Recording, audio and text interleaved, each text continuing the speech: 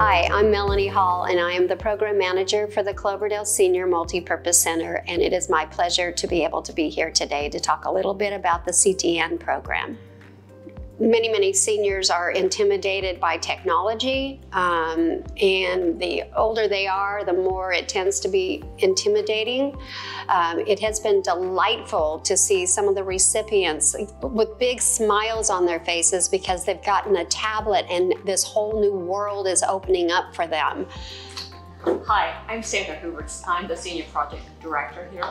And our organization engaged with Community Tech Network um, through Sonoma County Area Agency on Aging, and that's how we connected. We became one of the local nonprofit agencies to collaborate with through this program. But most importantly, what they do is they provide a benefit for our older adults. I want to add in there too that in our Cloverdale community, we are about one third seniors.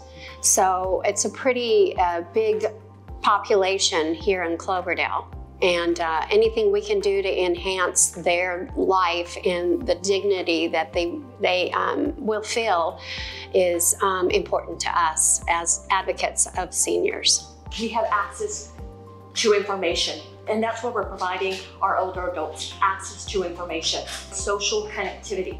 They're connecting with family, friends, and the community.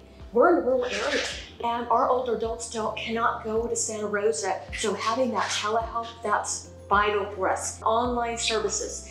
They could do their banking, they could do their shopping if necessary, and pay their utility bills. There's so many resources out there, and this technology allows them to have that access. Entertainment. This is, um, I had one of the seniors here, and he's on, uh, you know what, Sandra, I know how to do streaming. And so when I was at home, I was able to stream one of the videos.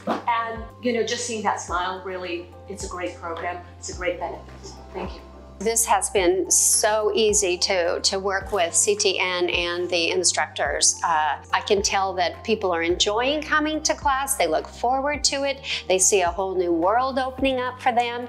And to have the training and the the patient instructor has been, uh, again, a blessing. I encourage more Latinx members to also come and take advantage of this program because I know that that applies as well. And it's a benefit for our community. But sometimes you're living on a restricted income, and even if you're not lower income, it's just, it's a financial burden. And having this program allows us to have this uh, equality with check many, many, many more seniors in our community that are exploring the, the entire world because of this tool that they've been taught how to use. They're getting six months free of internet.